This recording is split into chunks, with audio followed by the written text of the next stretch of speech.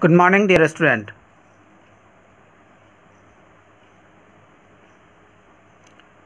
last class में हम लोगों ने कई सारे प्रॉब्लम को सॉल्व किया था। और लास्ट में एक प्रॉब्लम आप लोगों का सॉल्व के लिए छोड़ दिया था। उम्मीद है आप लोगों ने किया होगा। चलिए आपके साथ मिल कर के हम फिर से उस क्वेश्चन को सॉल्व करते हैं। ओके तो क्वेश्चन था कि nitrogen content in a sample of urea is 42.5 percent by mass what is the purity? What is the percent purity of urea in the sample? ठीक है? तो चलिए इस क्वेश्चन को सॉल्व करने के लिए हम लोग यूरिया को एज्यूम कर लेते हैं। ठीक है कंसीडर करते हैं कि यह सैंपल ऑफ़ यूरिया है। ठीक है sample of sample of urea. Percent of nitrogen by mass दे रखा है। Percent of nitrogen by mass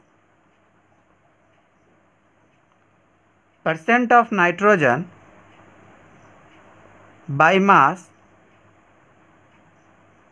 equal to forty two point five अगर हम 100 ग्राम यूरिया को कंसीडर कर लेते हैं, सौ ग्राम यूरिया को कंसीडर कर लेते हैं तो जो सौ ग्राम में आएगा, वही तो परसेंट होगा। क्योंकि परसेंट तो आउट ऑफ़ हंड्रेड ही होता है। ओके तो एज्यूम कर लेते हैं कि सैंपल क्या है? हंड्रेड ग्राम का है। Let the sample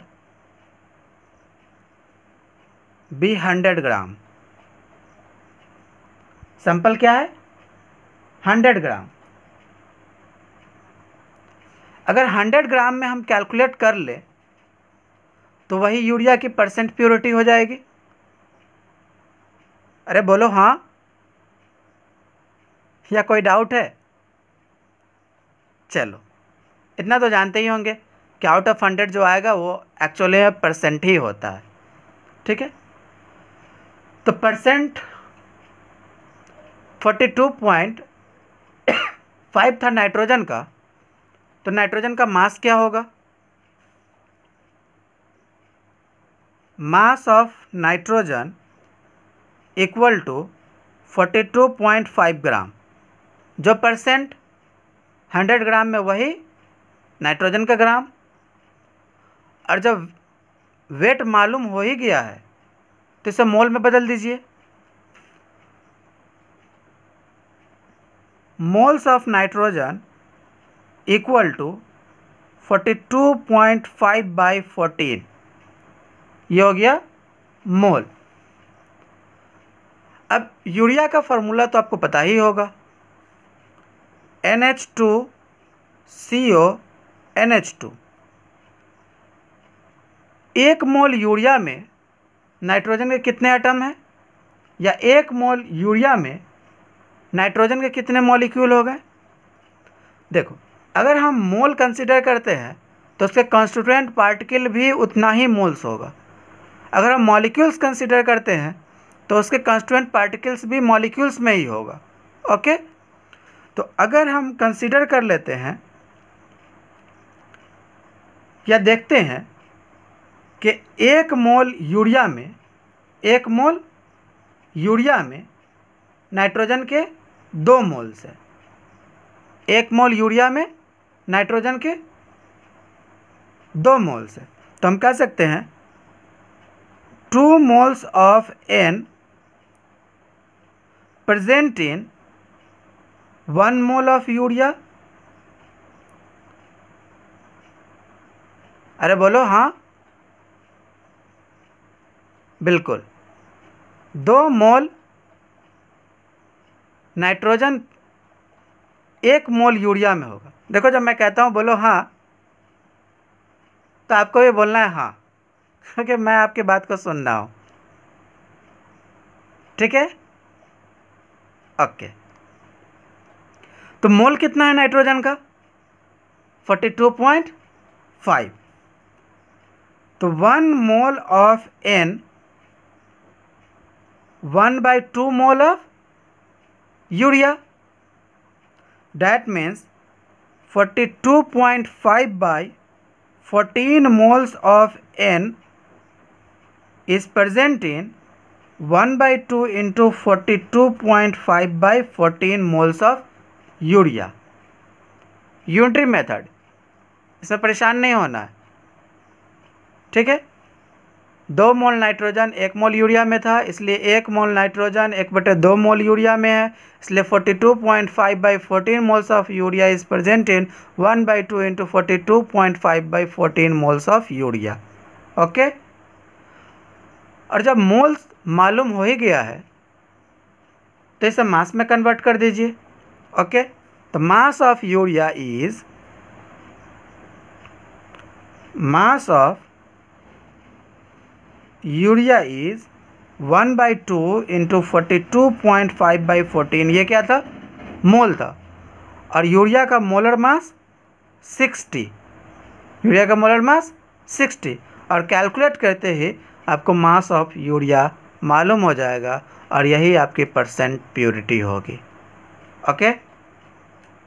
तो बहुत ही सिंपल सिंपल पर लॉजिकल क्वेश्चन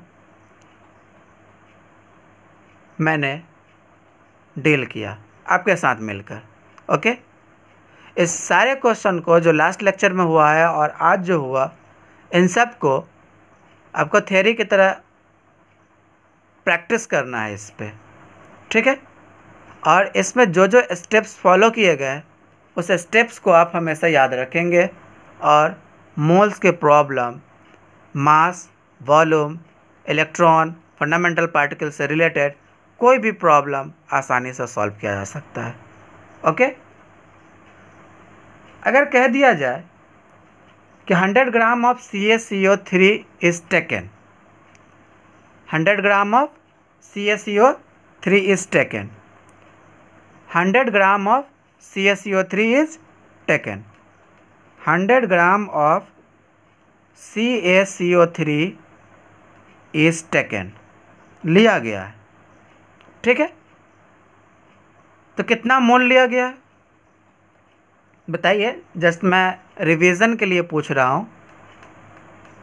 अदरवाइज़ ये कोई टॉपिक नहीं है। जस्ट मैं रिकॉल करा रहा हूँ आपको। Hundred gram of C S C O three is one mole of one mole of C S C O three that means mole equal to one वो भी मोल किसका? सी एस सी ओ थ्री का। अगर gram molecules of C S C O three पूछा जाए तो? Old definition कुछ याद आया? Gram molecules also related to moles gram molecule equal to one gram molecule of C S C O three also equal to one अगर आपसे पूछा जाए कि gram atom of C A, gram atom of C A in C S C O three तो एक molecule imagine कीजिए। एक molecule में सी एस सी ओ थ्री पर सी ए का एटम एक होगा। Gram atom of C A equal to one a gram atom of oxygen equal to three gram atom of oxygen equal to three ये कोई theory नहीं है। जस्ट मैं पीछे का रिकॉल करा रहा हूँ आपको। ठीक है? Okay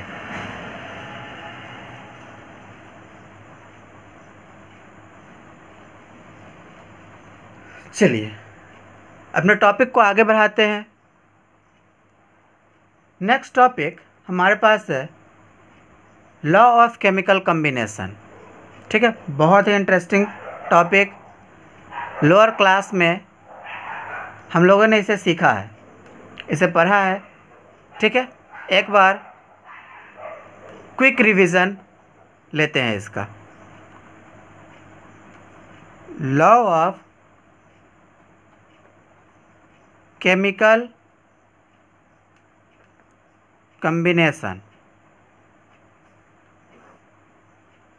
law of chemical combination okay law of chemical combination में कई सारे लॉ है। इसमें first law law of mass conservation law of mass conservation law of mass conservation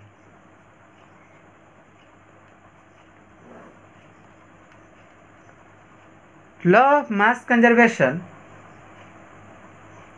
states that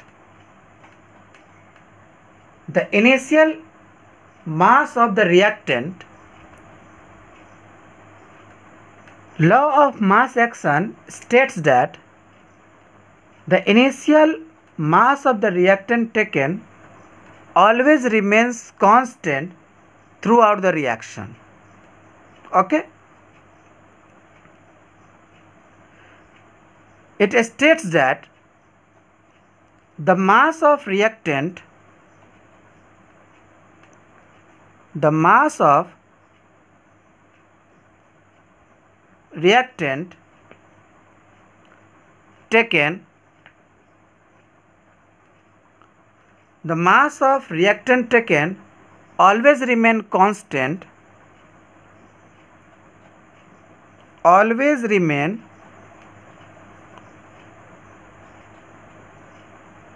constant always remain constant throughout the reaction.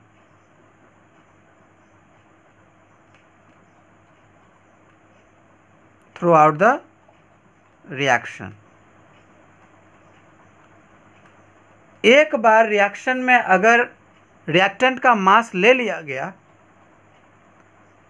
तो समय के अनुसार reactant का मास घटता जाएगा, और प्रोडक्ट का मास बढ़ता जाएगा। ठीक है?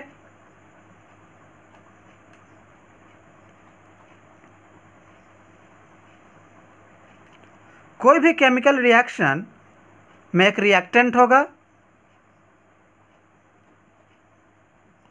जो फाइनली प्रोडक्ट में कन्वर्ट हो जाएगा। ठीक है? किसी कंटेनर में अगर रिएक्शन चल रहा है रिएक्टेंट से प्रोडक्ट की तरफ़ तो टाइम के साथ साथ रिएक्टेंट ख़त्म होगा और प्रोडक्ट का अमाउंट बढ़ता जाएगा। ओके रिएक्टेंट क्या होगा?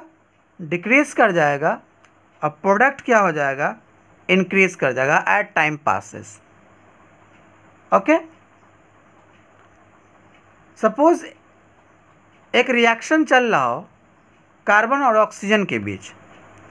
Carbon plus oxygen gives carbon dioxide अगर इनिशियली कार्बन का मास सिक्स ग्राम हो और ऑक्सीजन का मास सिक्सटीन ग्राम हो तो हम ये कह सकते हैं कि जब रिएक्शन ख़त्म होगा तो उस वक्त कार्बन डाइऑक्साइड का amount six plus sixteen twenty two gram होगा। ट्वेंटी टू ग्राम होगा। बिना कोई केमिस्ट्री जाने law of conservation of mass लगा सकते हैं। बिना कोई एक्स्ट्रा नॉलेज के हम लोग ये बता सकते हैं कि जैसे ही रिएक्शन ख़त्म होगा, वो सारा का सारा मास जो रिएक्टेंट में था, वो प्रोडक्ट में बदल जाएगा। ठीक है? इसे ही हम कहते हैं मास कंजर्वेशन। आप किसी भी रिएक्शन को स्टार्ट कीजिए। रिएक्शन स्टार्ट होते वक्त जो अमाउंट रहेगा रिएक्शन के मिडिल में भी वही अमाउंट रहेगा और रिएक्शन जब फाइनली ख़त्म हो जाए तो वही अमाउंट रहेगा। ओके?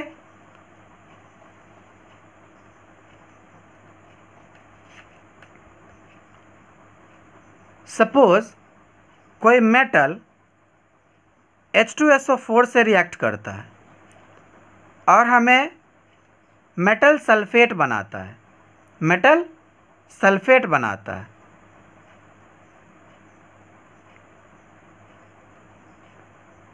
मेटल सल्फेट बनाता है।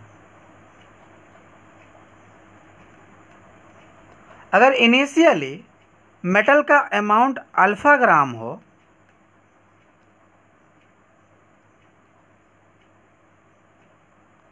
और मेटल सल्फेट बीटा ग्राम हो।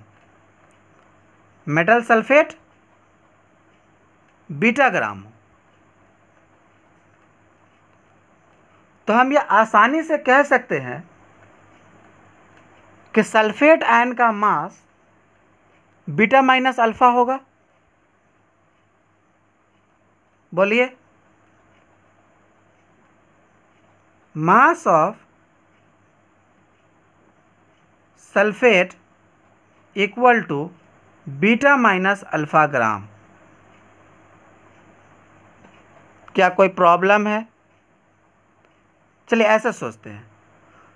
जो मास मेटल का लिया गया था, रिएक्शन ख़त्म होने पर वो पूरा का पूरा ख़त्म होगा। ठीक है? और धीरे धीरे वो सारा मास प्रोडक्ट में शिफ्ट कर जाएगा। लेकिन प्रोडक्ट में तो सल्फेट भी आ गया है। और टोटल मेटल सल्फेट का मास हमें बीटा ग्राम दे रखा है। उस टोटल मेटल सल्फेट में मेटल तो अल्फ़ा ग्राम ही होगा, क्योंकि इनिशियली अल्फ़ा ग्राम ही हम लोग लिए थे। इसलिए सल्फेट का मास हो जाएगा beta minus alpha gram okay?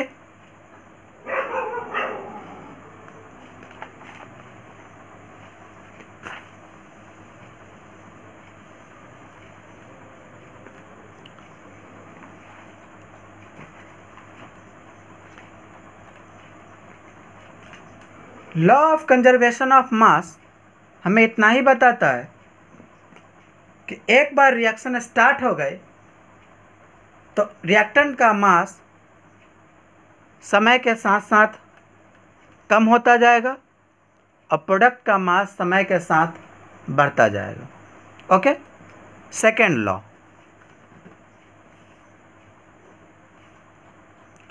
law of definite composition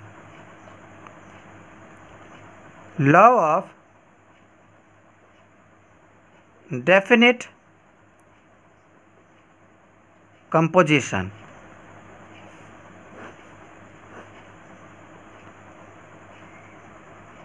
Law of definite composition क्या है बताइए? Law of definite composition states the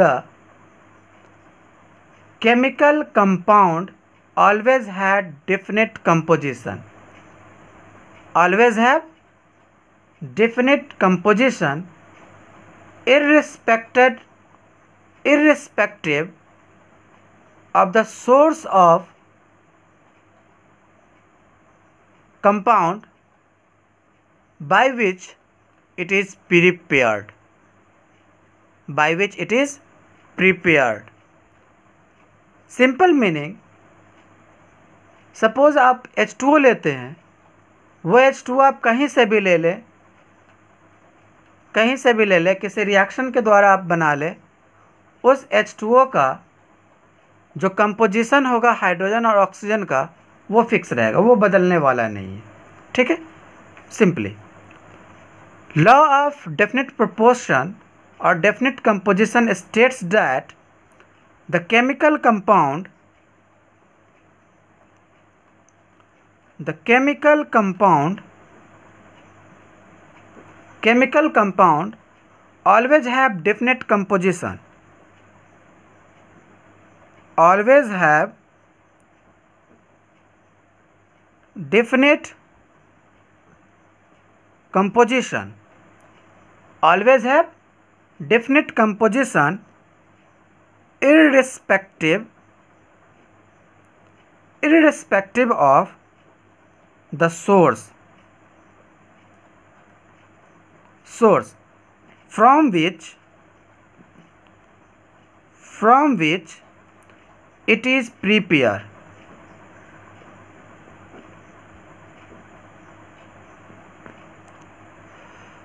अब किसी भी कंपाउंड को कहीं से भी ले ले, किसी रिएक्शन से बना ले या कहीं से भी ला ले, उसके कंपोजिशन में चेंजेस नहीं आएँगे। उसका कंपोजिशन फिक्स होता है।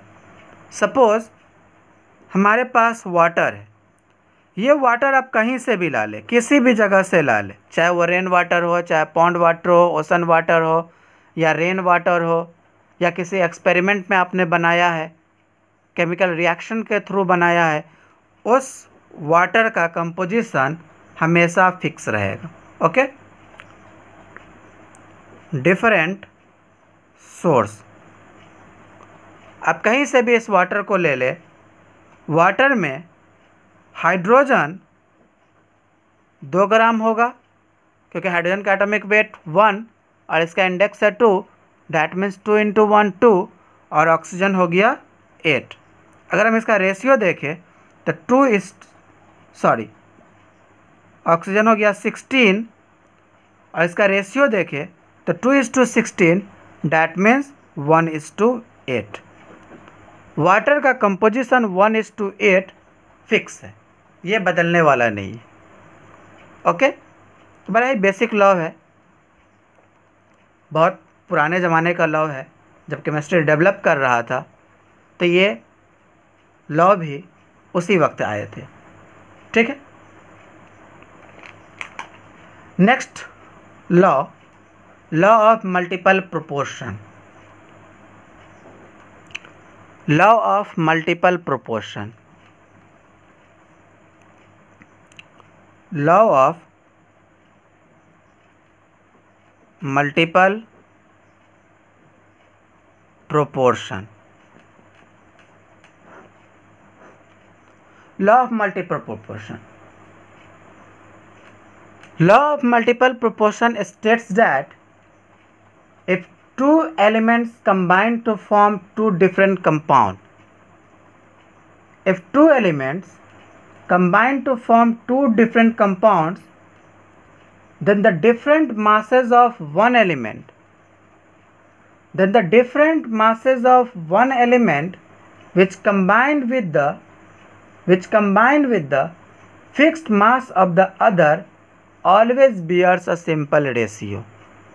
Okay?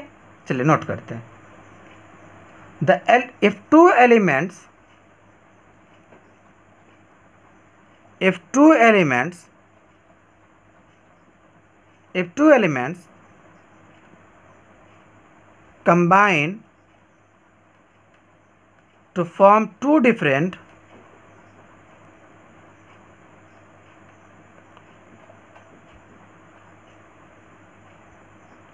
two different compound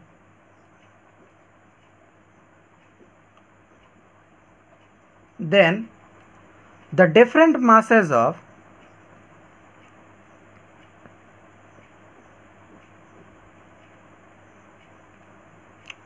different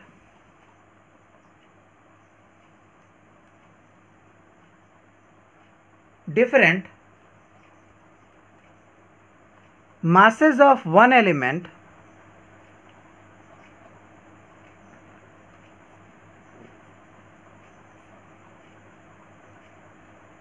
different masses of one element which combine with the fixed mass which combine with the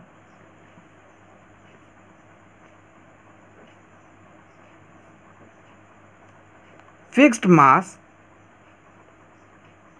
of the other of the other always bear a simple ratio.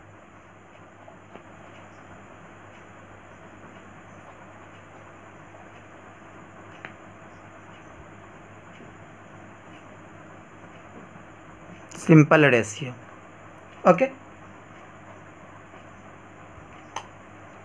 चलिए देखते हैं। एक example के साथ कि nitrogen और oxygen combine होकर एक कंपाउंड बनाता है NO और एक कंपाउंड बनाता है NO2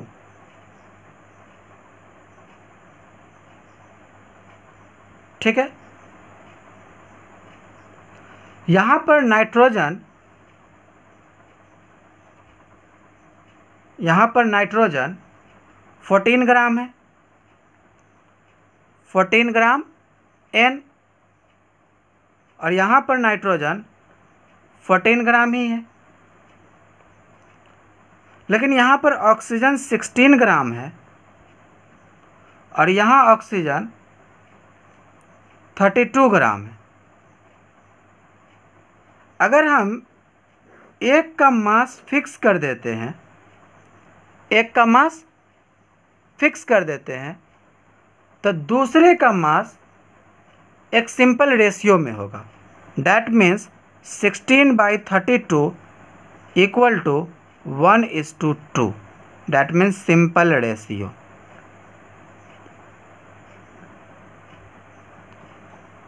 यही है law of multiple proportion okay चलिए एक क्वेश्चन देते हैं आपको। Two oxides of sulphur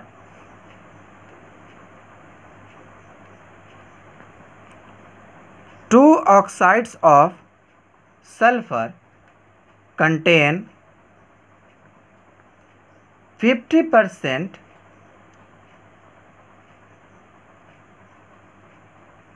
fifty percent and forty percent and forty percent sulfur by mass.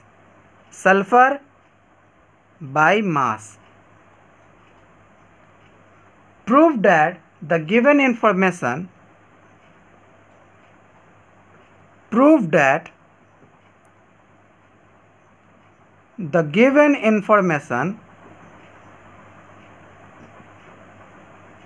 prove that the given information is accordance to